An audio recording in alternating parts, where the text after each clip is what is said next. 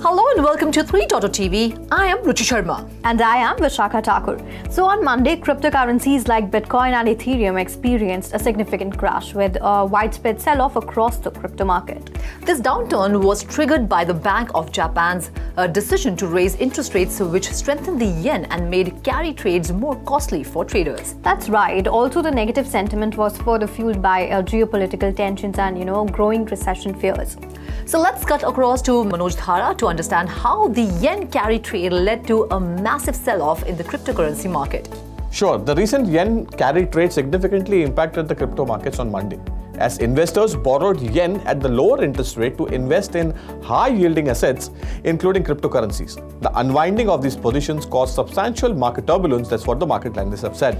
A stronger yen, driven by the shifts in Japan's monetary policy, led to investors to close their carry trades selling off cryptocurrencies to repay yen denominated loans that has actually triggered the fall in the markets. This sudden liquidation triggered a sharp drop in crypto prices, exacerbated by the already volatile nature of the digital assets. So, this rapid sell off and the subsequent market correction highlighted the interconnectedness of the global financial markets and the vulnerability of the cryptocurrencies to the macroeconomic events. Investors' fight to safety amid broader market concerns amplified the declines, illustrating the risk associated with the leverage trading strategies like the yen carry trade in the crypto space. So, if you want to understand the entire yen carry trade, we will take you through. Say, for instance, you borrow 1 million Japanese yen at 0% interest rate and invest in US dollars, which is at the rate of 160 per yen versus the dollar for a 5% yield, that is the interest rate in the US. So then your total yen investments in the dollar is 1 million yen divided by 160, which is close to around 6,250 US dollars. Please remember, you still owe 1 million in yen from the place you have borrowed the money. Your investments will be profitable as long as the value of the borrowed currency doesn't increase significantly or else it would lead to substantial losses. Let's assume now that the Bank of Japan increases interest rates to 0.25%, following which the yen appreciated to 147 from 160 per US dollar with immediate effect. This brings down your total dollar investments to 9 lakh 18,750 yen when converted, leading to substantial losses of 81,250 yen. So thank you Manoj for sharing all the details. The Brazilian Securities and Exchange Commission has approved a Solana-based exchange-traded fund, the agency disclosed in its central database on Wednesday. Well, it is the first product of this kind in Brazil and among the first Solana-based exchange-traded products globally. So the first was launched by Switzerland-based investment product provider 21 Shares on the SIX Swiss exchange in June 2021. According to CVM's database, the Solana-based ETF is in a pre-operational stage, so it has yet to be approved by the Brazilian Stock Exchange B3. Exactly. Moving on, Japanese investment firm Metaplanet has secured a $6.8 million loan from one of its shareholders, MMXX Ventures, to increase its Bitcoin holdings. This move follows Metaplanet's recent announcement to raise $70 million through a stock rights offering, with $58 million embarked for Bitcoin investments. So, Metaplanet's loan carries a 0.1% interest rate per annum and a six month term starting on August 8 with repayment in a lump If the firm allocates the entire $6.8 million loan to Bitcoin, it could purchase an additional 118.5 BTC at current market prices. Furthermore, Bitcoin treasury firm Semler Scientific has added another $6 million in Bitcoin to its balance sheet,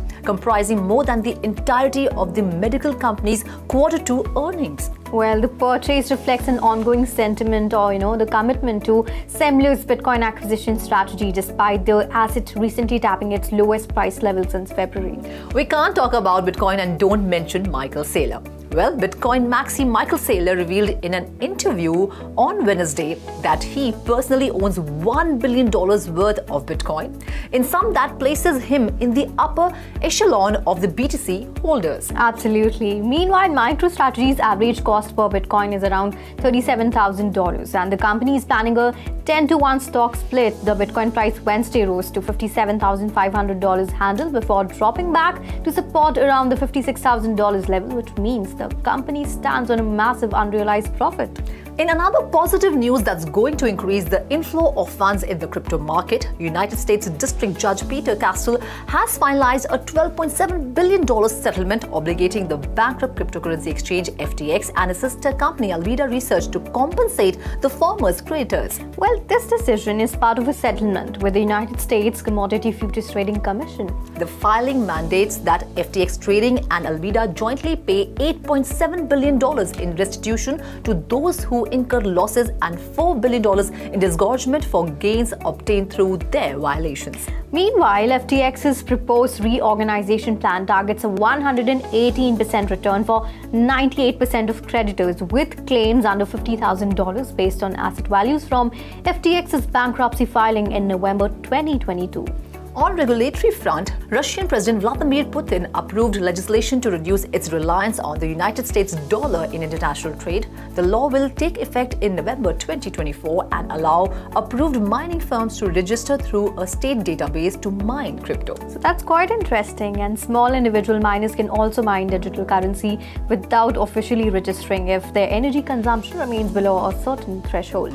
Oversight of the newly legalized mining industry will be split between the Bank of of Russia, the Ministry of Finance, and a select cabinet of ministers within the Russian government, who will establish more precise regulatory requirements over the coming months. The bill also introduced a ban on mass cryptocurrency advertising inside Russia.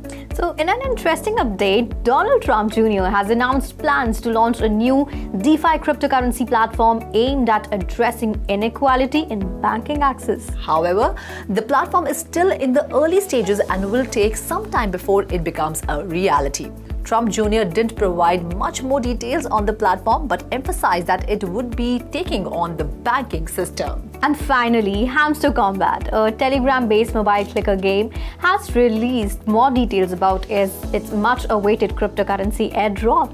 All in game activities will count towards accumulating more airdrop points, according to Hamster Kombat's new airdrop section updated on August 8th. So, the updated section includes six different sections for accruing tokens, including the player's passive income and completion of earned tasks, achievements, subscription and keys, and referrals for friends. However, the airdrop eligibility will also depend on the game cycle, community interactions, overall social activity, and the quality of the invited players. So, while it is known that 60% of the HM STR token airdrops volume will be dedicated to players.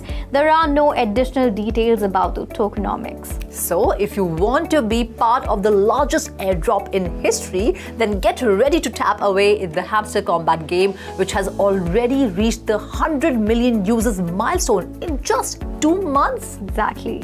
So that's all in this episode of the Weekly Wrap. This is me, Vishakha Thakur, signing off. And this is me, Ruchi Sharma, signing off. Do like, share, and subscribe to 3 TV. And for more information stories, log on to our website www.3 or scan the QR code. Have a great weekend.